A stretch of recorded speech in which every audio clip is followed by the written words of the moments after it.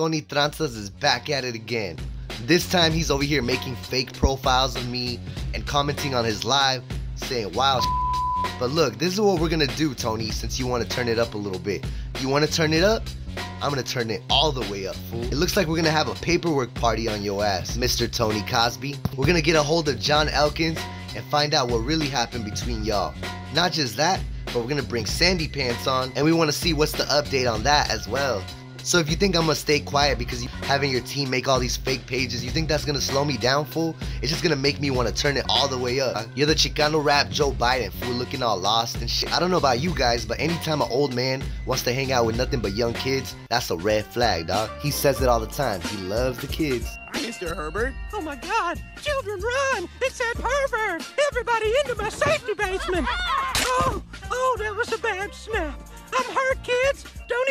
popsicles till I get down there.